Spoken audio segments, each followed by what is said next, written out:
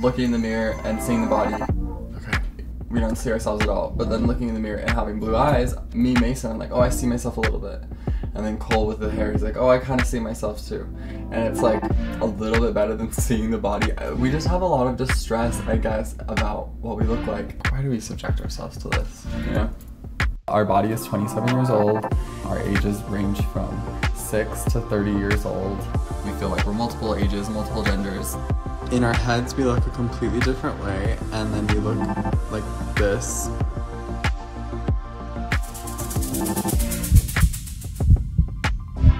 In the United States, there are an estimated 4 million people diagnosed with dissociative identity disorder, known as DID. For Brut, I met with the Winter System in Utah. They were diagnosed with DID two months ago and are currently living with nine people known as alters in one body. This is Damon's wig. We cut it ourselves. Uh, who cut it? I cut it. No.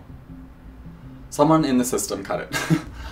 I'm just gonna be showing you some of these really cool Sims that Mason made earlier. My favorite is obviously mine. Then there's Cole. This is Jet. He's such a cutie. I was super happy when I saw that Mason made Jeremiah like this. Then there's Liam. I loved how Damon decided to dress himself. That's so cute. Bethany looks like a queen, honestly. She looks so good. Are you kidding? And then finally, Mason. Um, Jesus Christ, Mason. Okay, whatever. It's formerly known as multiple personality disorder, but that diagnosis is no longer given out. How's it going? How are you guys? Thanks for liking the live, y'all.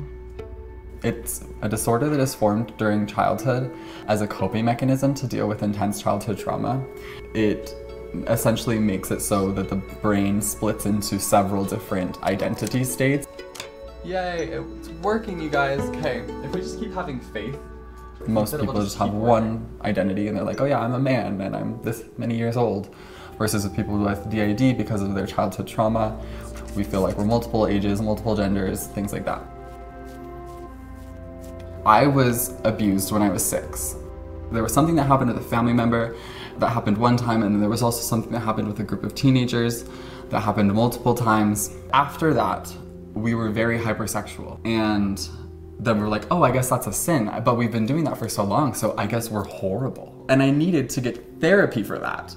I needed to be seen by a legitimate therapist, not a conversion therapist. And like all of that happened within Mormonism. You don't want to look like how you look because maybe you were abused because of how you look. When people think, oh, like DID is incredibly rare, what they're saying is, you can't have this disorder, you must be faking.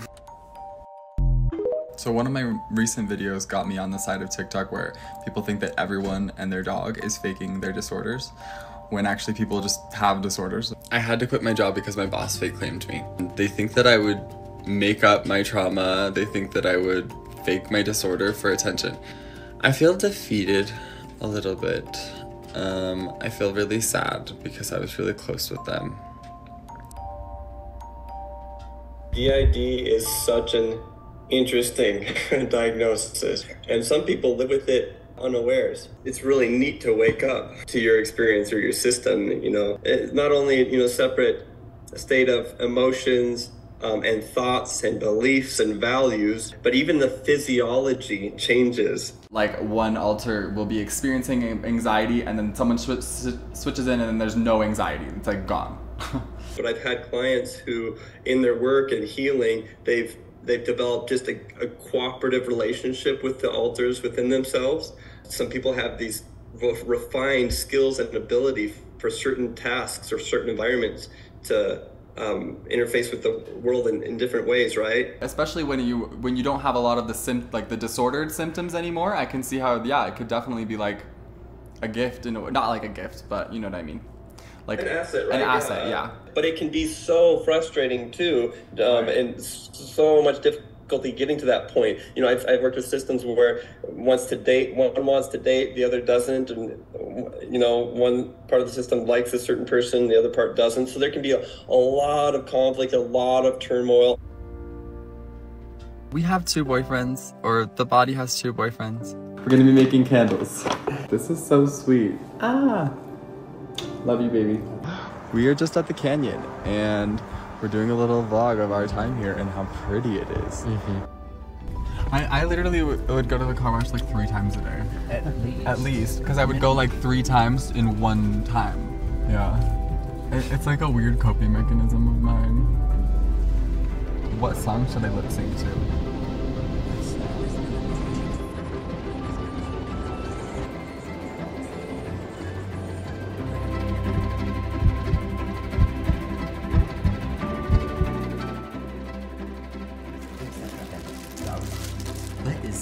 Is this? A dinosaur? I think it is a dinosaur. We're so excited. We're gonna be doing mochi pimple popping, you guys. Are you excited, Casey? I'm very excited. These are so cute. Also, we have this lotion that we're gonna be putting into the mochi. But right now we're just slowly getting the lotion in. Yes, we are giving them their tea shots. That's so funny. We have dissociative identity disorder, and we kind of wanted to talk to that, talk about that while we did the mochi today. So, do you guys have any questions? Yes, Alex, this is my boyfriend. Sorry, I got some makeup on you. Thanks for getting makeup on me. You have such supportive partners, but what's the hardest part of dating people with DID? Well, it's like in a relationship, you're trying to figure out your boundaries or how to mesh into one each other, like each other's, to be in each other's lives, and then when it's like, oh, you're actually eight people, you need to make sure that Everyone's boundaries are met. clear about that. There are a lot of people in our system. We have different ages and we have different genders, and it's like not all of us want, you know, not all of us want to be touched in the same way. Not all of us uh, should be touched in the same way. Someone said a mean comment. Will someone mute them? Thank you. Have we ever got fake claimed? Oh, we've been fake claimed so many times. They're like, you are fake because you don't talk differently. You, you're fake because you talk differently. How did you learn to accept yourself? I feel like that's a good one. when we realized that we were different people, it was like we can either like pretend that this isn't true, or we can like try and move forward with it and like get to know ourselves. And then we were like, that's really the only thing we can do is try and move forward. Ah! It, that was oh, it got on the phone. I need to get that off.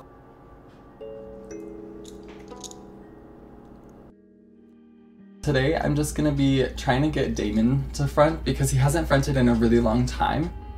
When I say front, I mean like I want him to come and be in control of the body. And I want him to see this little space that Mason made for him in the closet. When I say that Damon wants to look like himself, you know, I don't actually look like Damon right now because Damon is a six year old boy. we just try to look the most like ourselves we can in the inner world, if that makes sense. Listen, it's it's still Sage, but Damon is here too, and he's not fronting, but he's like very present. And he said that this space is really cool and he loves it. So, yeah, he's not gonna front though, I don't think. I don't know why he doesn't want to, but maybe he's nervous. But yeah, um, thanks for watching. Damon loves swinging, and so even if he's not fronting, he gets joy out of us swinging. And he swings all the time in the inner world. I wish that the whole world would know that I I'm just another person, you know, like we are multiple people, but we are just another person, you know. We're just out here living our lives, not trying to harm anyone, trying our best. That was so fun. I'm really proud of who we are. We've come so far and we've realized so much about ourselves.